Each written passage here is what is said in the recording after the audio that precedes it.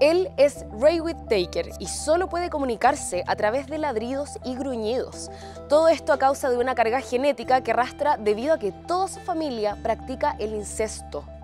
Y no es el único. Él y todos sus hermanos forman parte de la familia más endogámica de Estados Unidos. Cuando llegas, ves a un montón de personas caminando. Sus ojos van en distintas direcciones y nos ladran. Así lo describió el fotógrafo Mark Laita, que logró ganarse su confianza y fue quien expuso su caso. Y es tan llamativo porque prácticamente toda la familia es fruto de la endogamia, que se produce cuando individuos que tienen parentesco familiar se reproducen. Y esto suele traer problemas genéticos, como es en el caso de los Whittaker.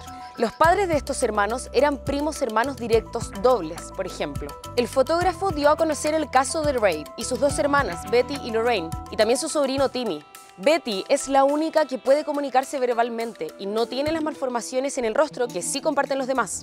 I promised my mommy I would get married. I was take, I was going to stay home, take care of Ray, Lauren, Tim, and I did. El resto se manifiesta a través de ladridos, gruñidos y chillidos.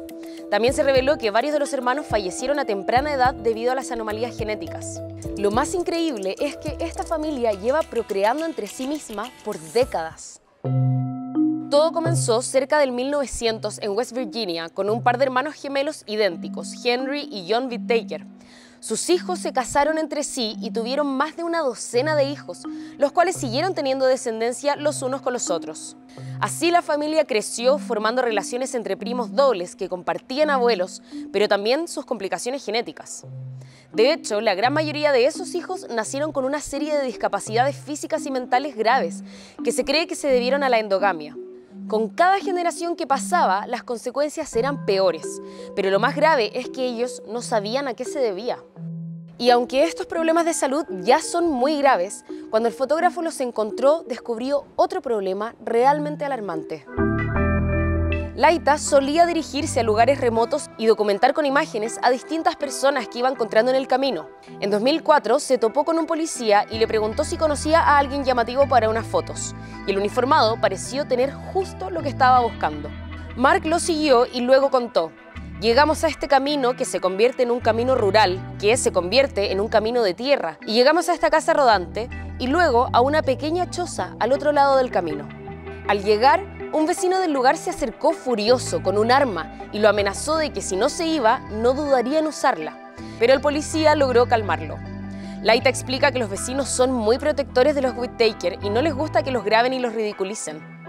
Pero finalmente llegó y los pudo conocer. Y luego del eterno camino que tuvieron que recorrer para llegar, se dio cuenta de que la familia vive terriblemente marginada y en extrema pobreza. Y esto es lo que realmente profundiza su problema. Viven completamente aislados, en mínimas condiciones y con muy poco contacto con el mundo exterior. De hecho, no fue hasta que el fotógrafo llegó a su hogar que recién se pudo exponer su caso. Volvió en 2020 y sacó a la luz un pequeño reportaje para mostrar las condiciones en las que vivían. Su video en YouTube tiene más de 38 millones de visitas y logró reunir más de 50 mil dólares con los que pudieron mejorar su casa y su calidad de vida. Sin embargo, ha sido duramente criticado con el argumento de que era innecesario grabarlos y exponerlos de esa forma, mientras que otras opiniones lo defienden diciendo que ha recaudado mucho dinero para ellos, ayudándolos a mejorar sus vidas.